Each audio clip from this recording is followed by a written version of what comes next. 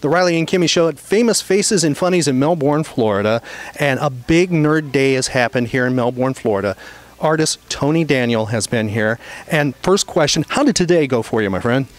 Uh, fantastic. Uh, the the people that I met are, were just uh, friendly and fun, and uh, you know enthusiastic. uh, Great to talk to, and um, you know just you know great crowd, great group of people. It was really really enjoyable for me to meet everybody. Now, did you get some? Because you were doing some sketching, which surprised me. And did you get like something that somebody wanted a lot of? Like you were getting somebody, I want, you know, Deathstroke a lot. Was there? Was it varied today? Well, I, I wish I got more Deathstrokes because he's so easy to draw. I mean, you know, I can probably draw him in like you know 30 seconds, but uh, uh, you know, for the most part, people want Batman or um, who else did I, I did a I did a Superman, which was fun, and. Um, uh, Wonder Woman, you did. Harley, Harley Quinn, Wonder Woman, but I think you know probably I, I think I've I definitely did more Batman, uh, which, which is not unusual.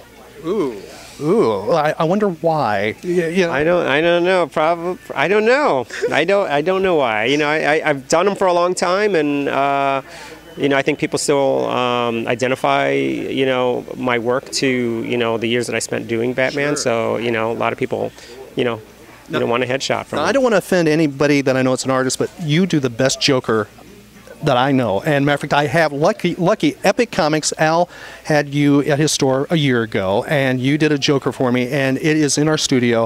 Uh, it is the best, and I mean, it's gorgeous. Thank, thank you. You know, Joker, just naturally, uh, you, you know, it just comes naturally with uh, whenever I draw him. I just, uh, I love to draw the Joker, and you know, if I love to draw somebody or a character.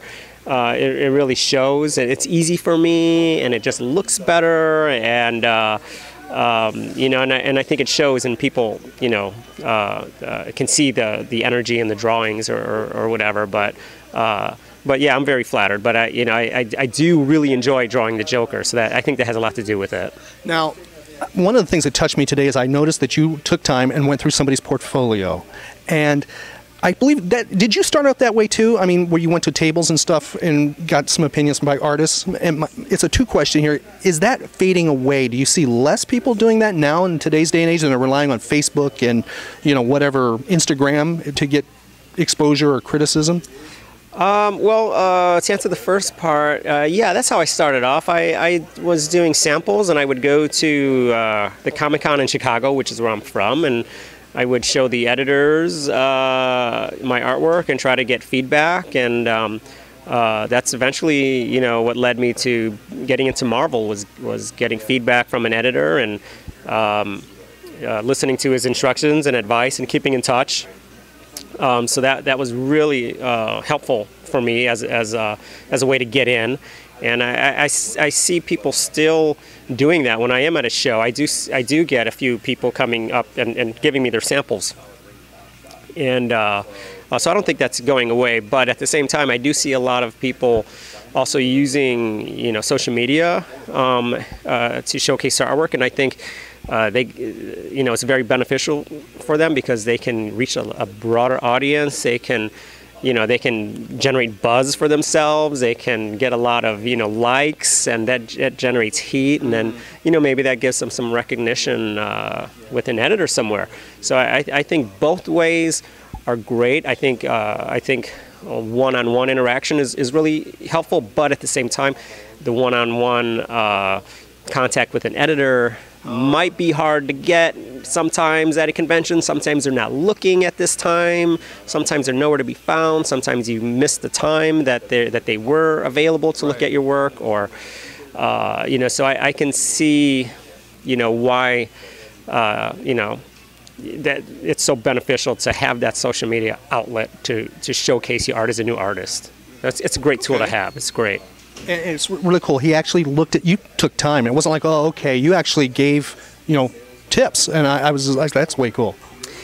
Yeah, well, I mean, he waited a long time, you know, so the least I can do is is, is, is pay him some attention because uh, you know he waited so long, and and uh, and the, the the thing was is that he he was good.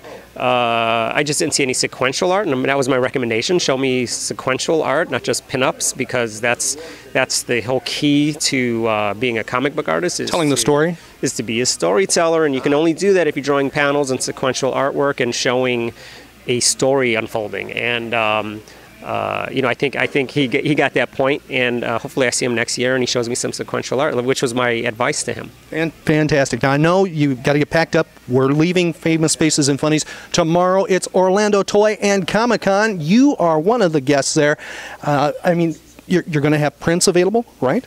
Yes, I'll have some prints, and uh, depending on the situation or the crowd, I, I might do sketches. I'm not 100% sure yet. Um, it really depends on how the day unfolds. Okay. Um, but uh, I'm really there to just meet the fans and meet you know whoever comes by and and uh, to talk to people and, and you know just have a have a good time and you know uh, uh, I, I, I get as much fun out of it as, as hopefully they they get uh, meeting me. It, it looks like it. I've, it's twice I've seen you at a, at a you know situation like this, and you look like you're having a great time. And I think everybody leaves the table very happy. So I look forward to seeing you tomorrow at the Orlando Toy and Comic Con. Tony S. Daniel, come on out. Check out OrlandoToyComicCon.com for more information, and thank you for being on the Riley and Kimmy Show. Thank you for having me.